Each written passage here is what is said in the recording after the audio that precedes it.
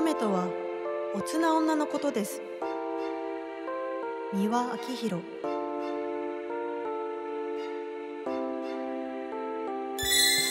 乙女トライアル始まります。皆様はじめまして。女優の有本ひとみです。さて先月から始まりました乙女トライアル。この番組は業界2年目のまだまだ新人に近い若手女優私有本ひとみが女優として今日本に住んでいる一人の女性としていろんなことにトライアル挑戦していく番組です。そして番組オープニングでタイトルコールの代わりに三輪明宏さんの著書「乙女の教室」こちらです。の一節「乙女とはおつな女のことです」を引用させていただきましたがまさに一般的に考えられる乙女という年齢からすると私実は25歳で一見微妙なのかもしれませんがこの三輪さんの著書の一節では「おつな味」とか「おつなことを言いやがる」などの使い方をするあの「おつ」「ちょっといい」「なんだかいい」つまり乙女とは「いい女」という意味とあります。ですのでこの番組を通して私もそんなおつな女を目指していきたいと思っています。そして事務所の先輩たちが務めてらっしゃるいろんな番組に倣って一日も早く私の番組ですと言えるように頑張っていきたいと思っておりますので皆さんどうぞ乙女トライアル有本ひとみをどうぞよろしくお願いいたします。それではまずは私有本ひとみについて自己紹介を含めてお話ししていきたいと思います。私有本ひとみは大阪府出身の現在25歳です。現在主な活動としましてはドラマや映画 CM などの現場に参加させていただいたり今年の秋公開予定の映画「ラストソングは」に沢野雫役として出演させていただいております。これからは私にしかできないお役を一つでも多くいただけるように頑張っていきたいと思っておりますので皆さん是非応援よろしくお願いいたします。ここでもう一つ大事なことをお伝えしておきます。今お聞きのこの番組「乙女トライアル」は番組収録時に映像も撮影いただいておりましてそちらの映像を再編集して放送後約1週間から10日程度で YouTube にアップしていただきます。このシステムは実はうちの事務所プラスボックスのオリジナルシステムでリメイクラジオと呼んでおります。ぜひこちらも YouTube で乙女トライアルで検索いただきましたら嬉しいです。それでは大変お待たせいたしました。乙女トライアル。まずはじめのコーナーはマンスリートライアルのコーナー。さてこのコーナーはマンスリートライアルということでまさにタイトル通りと申しますかまだまだ女優としてこれからの私有本ひとみがこの1ヶ月ありがたいことにいろんな現場に参加出演させていただく機会を頂戴し来たるべき日に向けてトライアル挑戦試みをさせていただいた内容についてお話しさせていただくコーナーです。ただ我々の業界のルールとしてまだ具体的な内容とタイミング的にお話しできないいわゆる守秘義務がありますのであらかじめご了承ください。それでは今回は4月の活動についてリポートさせていただきます。えまずはじめに現在放送中の光テレビで放送されています。ドラマの現場に参加させていただきました。えこちらで私は食堂店員そして通行人の役で参加させていただきましたがえ特に食堂店員の時にはえメインキャストの方と少しお芝居絡ませていただくえ機会を頂戴いたしまして大変光栄な機会でございました。またですね、え続きましていつか TBS で放送されます。ドラマの現場にも参加させていただきました。えこちら詳しくは申し上げられないんですけれども、まあ、そのタイトルに関連するような役柄の設定で参加させていただきえこちらもですねなかなか体験できないような貴重なお役でえ参加させていただきました。えそして現在 TBS 日曜夜9時から放送中の人気のドラマの現場に参加させていただきましたこちらでは、えバドミントン選手ということで、えベンチの選手だったんですけれどもその役柄で、え参加させていただきました、えすぐね目の前でこうメインキャストの方のお芝居を拝見することもできたのであすごくこういう感じで、え撮影されてるんだなっていうすごくこう貴重な経験をさせていただきましてありがたい現場でございました。またですね7月から放送がスタートされるワウワウで放送されるドラマの現場にも参加させていただきました。そして先日ですねつい先日日本テレビで、え、放送されましたテレビ番組内の、え、VTR 再現 VTR の現場にも参加させていただきましてそちらではですね水害から逃げてきた住民の役柄で参加させていただきました。なかなかねそう災害に遭うということはね人生でも経験できないことなんですけれどもそういう再現 VTR を通して少しでも経験できたことにありがたいなと思いました。そして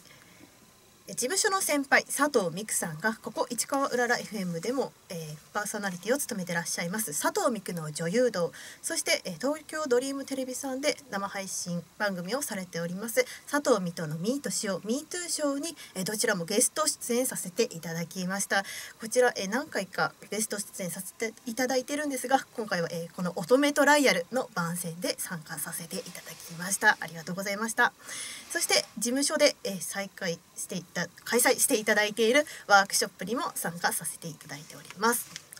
えー、続きましてですねこちら、ここ市川うらら FM で、えー、放送されています「愛され召し上がれ」のパーソナリティを務めてらっしゃる愛され飯協会の、え婚活料理カウンセラーの青木由美先生が、え愛され飯協会のプロモーションビデオを作りたいということで実はうちの事務所は制作会社でして、え、ご依頼がございましてそちらの現場に私も参加させていただきました。え私はですね制作スタッフということでお手伝いをさせていただいたんですがちょっと不慣れながらもいろいろご指導いただきながら、えー、お手伝いさせていただきえまたですねご婚活料理ということでちょっとお料理の方もお手伝いさせていただきました。えこちらは今、えー、配信開始されておりますのでぜひ皆さん愛され飯協会のプロモーションビデオをご覧いただければと思います、えー、続きましてこちらは緊急事態宣言発出前に初の山手線御朱印巡りを観光してまいりました、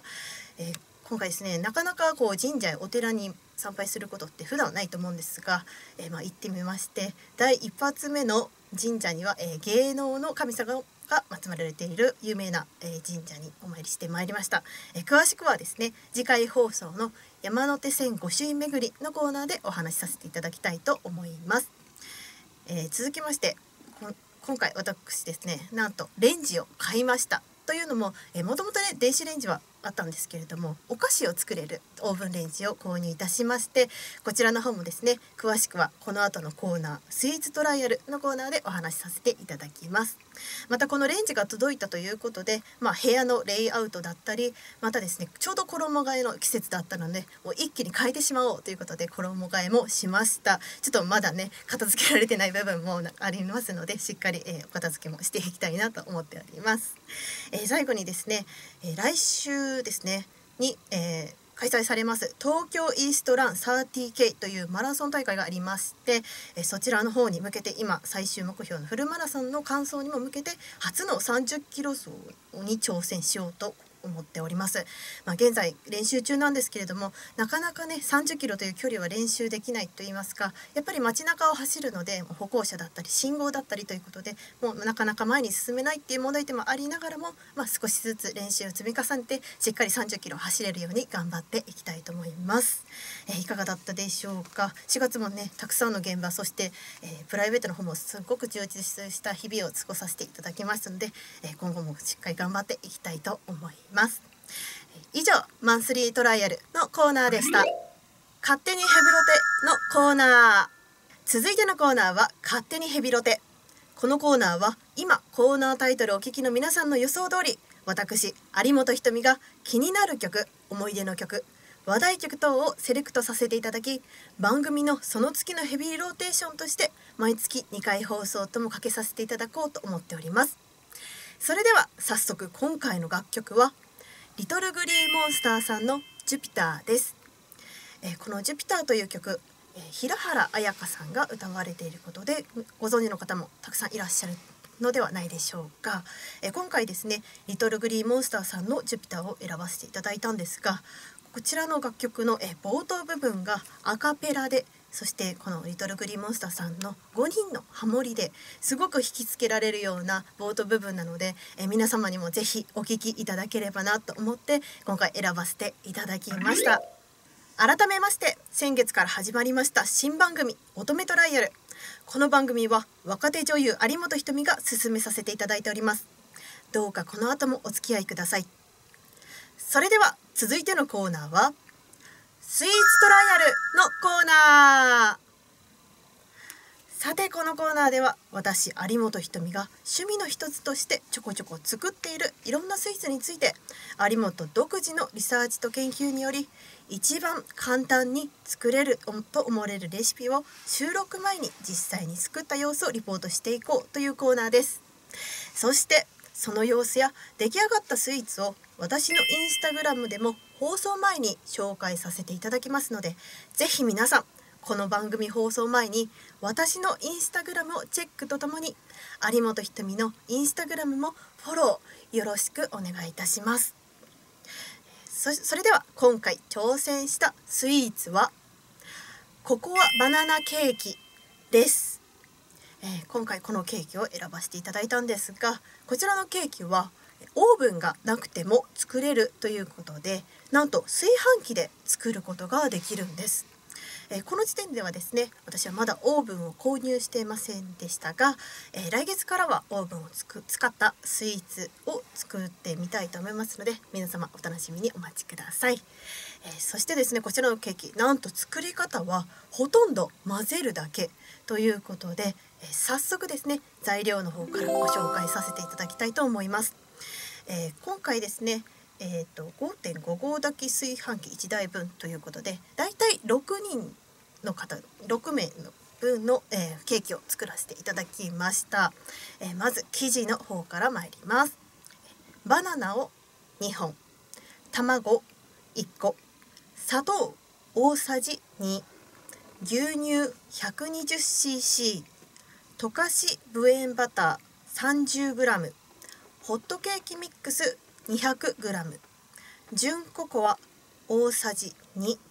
こちらの純ココアなんですけれども、えーと、今回、えー、森永さん純ココアという商品名になっておりまして、え、普通のココアというのは、えーと、砂糖とかがこう含まれて甘くされてるんですがこの純ココアというのもココアだけということになっております。こちらはですね他の、えー、メーカーさんでも、えー販売されていますが、え名称が異なりますのでそちらの方だけ注意していただければなと思います。えそして、えーと、炊飯器のかお釜に塗る用として、えー、無塩バター 10g をご用意いただきたいと思っております。えー、続きまして、えー、作り方です。え1バナナ1本は輪切りにもう1本はちぎりながらボウルに入れフォークで潰します。こちらバナナは、えー、一つ一つ、えー、輪切りにするのとちぎるのとまた別のものになっております。そして2別のボウルに卵を割り入れ砂糖を加えて混ぜます、えー、3そこに牛乳溶かしバター潰したバナナを加えて混ぜさらにホットケーキミックス純ココアを、え、粉ふるいと言いましてその粉を振るものにかけて加えて混ぜます、え、4炊飯器の、え、釜の内側にバターを塗ります。5輪切りにしたバナナを並べてこちらはですね自由に、えー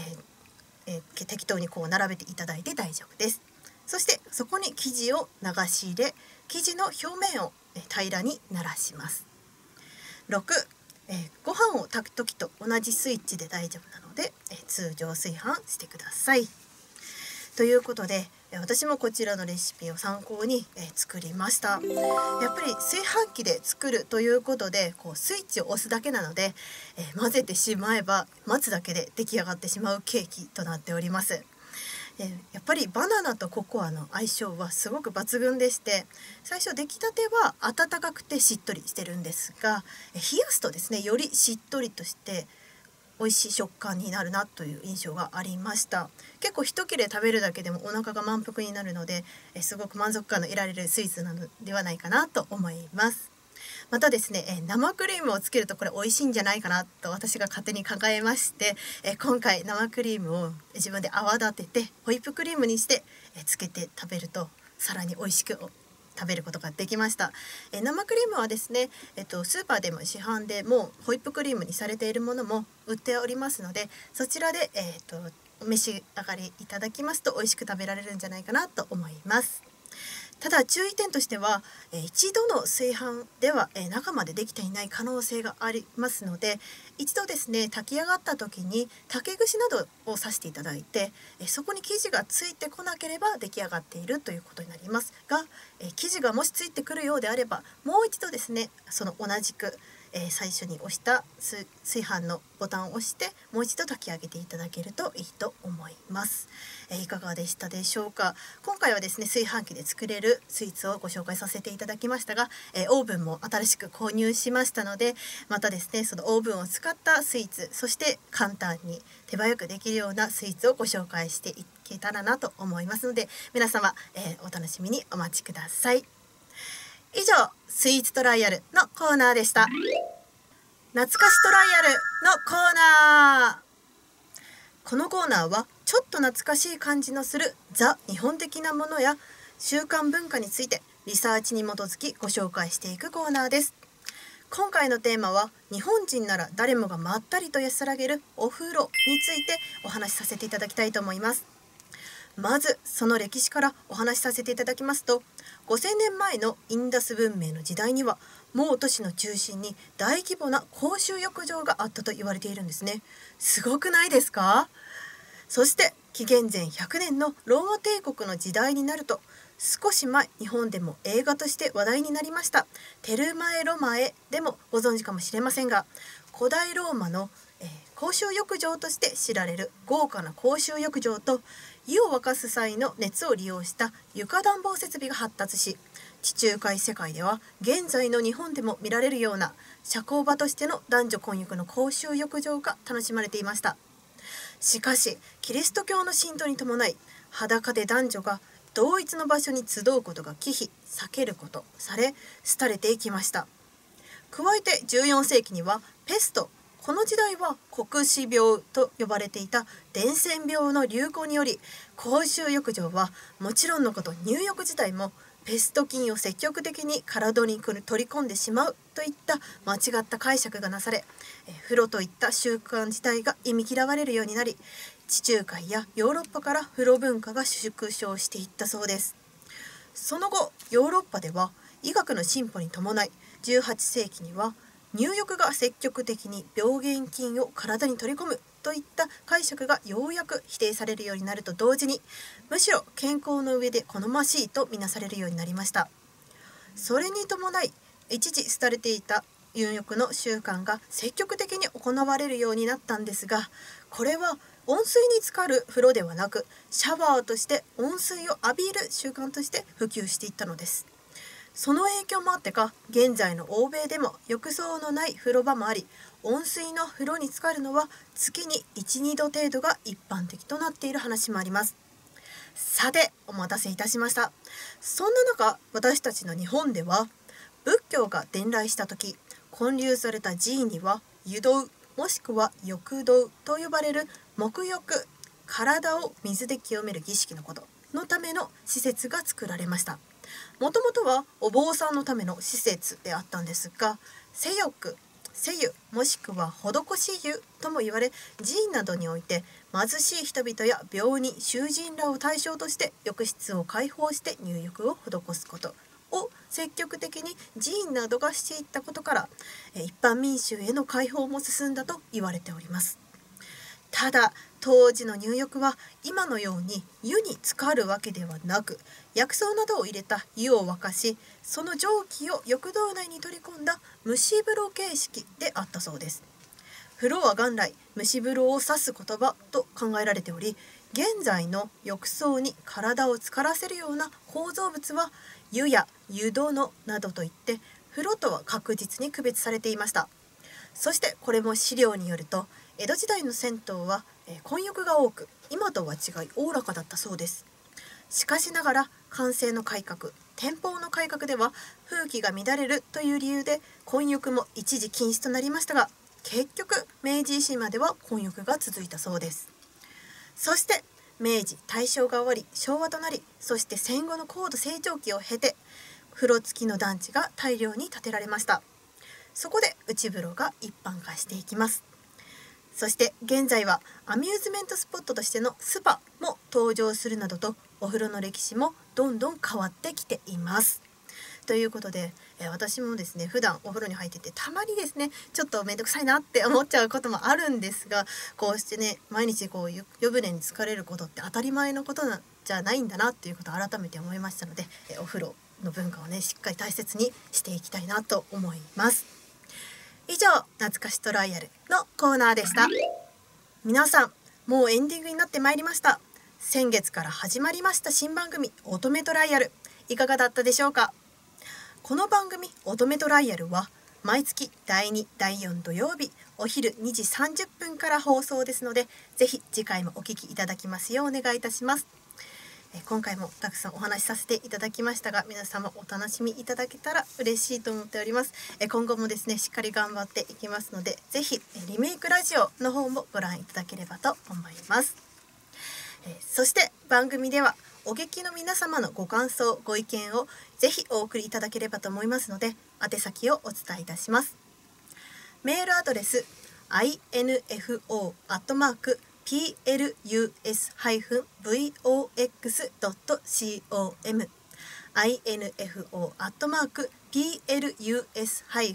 info.plus-vox.com 乙女トライアルおつな女にカタカナでトライアルまでお待ちしております。それでは乙女トライアル。また次回同じ時間お耳にかかりましょう。この時間乙女トライアルは若手女優有本ひとみが担当させていただきました。最後までお聞きいただきありがとうございました。ではまた。